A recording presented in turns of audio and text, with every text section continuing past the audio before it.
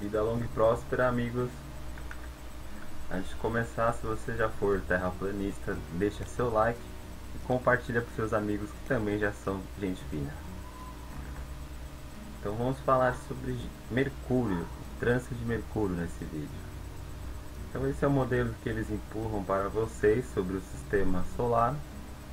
Podem reparar que todos os planetas, o percurso deles está sempre no equador do Sol.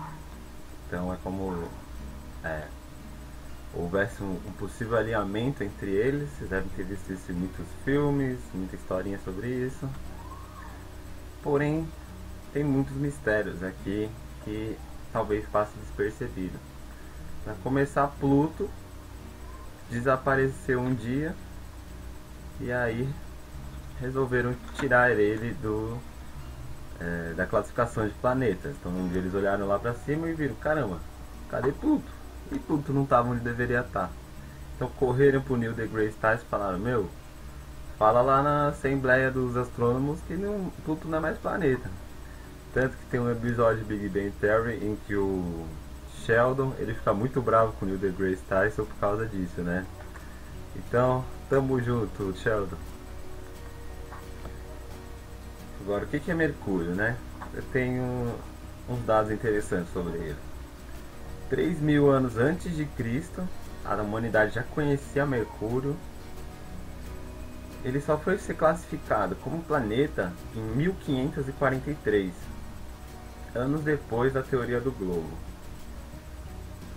É, ele tem duas faces, então diferente da Lua, que a gente sempre vê a mesma face, e Mercúrio, dependendo de quando nós vemos ele, tá uma das duas faces dele, né? Então tem esse coisa estranha sobre ele. E ele também vai ter o percurso mais estranho nos céus que todos os outros planetas. Por quê? Esse trânsito no Sol, ele é muito raro. Ele acontece de 13 a 14 vezes por século. Então é uma grande chance que a gente tem para falar sobre ele em 2016 uma grande coincidência, né? E como vocês podem ver, ele deveria estar sempre passando pelo equador do Sol, né? Mas não é o que acontece. Então, é, até para os próprios astrônomos, o Mercúrio já é um grande mistério. Por quê? Ele às vezes passa acima do Sol, às vezes ele passa abaixo, e a cada ano vai mudando isso.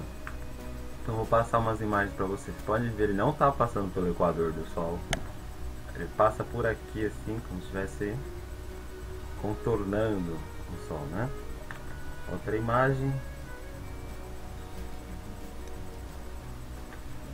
Interessante dele é que ele está entre o Sol e a Terra, né? Então, para quem pensa que a coisa mais próxima de nós é o Sol, saiba que sim, tem coisas aqui muito próximas, uma delas é Mercúrio outra aqui de novo. Então, cada vez passa por um lugar diferente. Em 1776 passou ali embaixo e cada ano vai passando em lugar diferente. Então, vocês podem ver que pula muitos anos. Pode ter gente que nem chega a ver Mercúrio transitando o Sol. Então, é algo realmente importante que está acontecendo. E lá para 2604 ele então vai passar lá por cima, né? Então, como é que é possível isso no globo, lá, com aquele modelo? Não é possível. Era para ele estar tá passando sempre no Equador. Aí você pode inventar mil e umas desculpas para ele não estar tá fazendo isso. Agora, na nossa Terra plana é muito fácil explicar por que ele passa às vezes acima, porque às vezes ele passa abaixo, e porque é tão raro a gente ver Mercúrio passando pelo Sol. Então já falei sobre isso algumas vezes no passado, mas aqui você vê o trânsito por onde passa o Sol e a Lua, independente da parte do ano, certo? É, então imagine que Mercúrio ele também faz esse mesmo trânsito pelos céus. Então imagine que o Sol está aqui na casa 23, né? Mercúrio, se estiver passando por baixo dele aqui, vocês vão ver aquela linha embaixo do Sol. Se Mercúrio estiver passando por cima do Sol, então ele, vocês vão ver ele acima do Sol. É muito simples explicar ele na Terra plana. por milênios a humanidade entendeu que era assim que funcionava Mercúrio, até vierem com esse modelo que não tem pé nem cabeça e falar ah, Mercúrio muda. O Mercúrio escolhe quando vai passar por cima ou por baixo. Tem 7 graus de diferença da Terra.